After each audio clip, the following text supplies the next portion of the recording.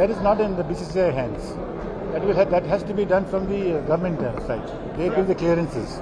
Last, last question. Some ex-cricketers accused that uh, BCCI, uh, ICC uh, favors for Team India and Indian cricket team. How do you see this accusation? So I said again, sorry.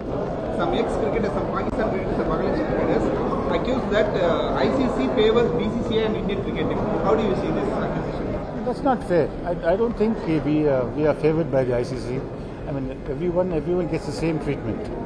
So there's, there's no way that you can say that India gets what what difference what difference do we get from the other teams? We don't really.